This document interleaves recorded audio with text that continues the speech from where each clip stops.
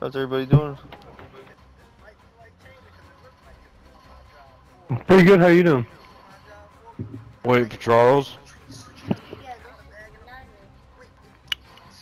I actually wrote a song about that. Wait, no, Charles. Wait, no, Charles. It goes like this.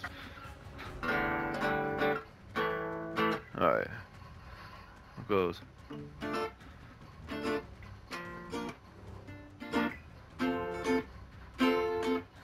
Gotta hit him with that. Alright, fucking sick and tired of waiting for Charles all night when I'm just trying to get into gunfights and I'm trying to pull out my red room, leaving dudes laying down in a red pool of blood.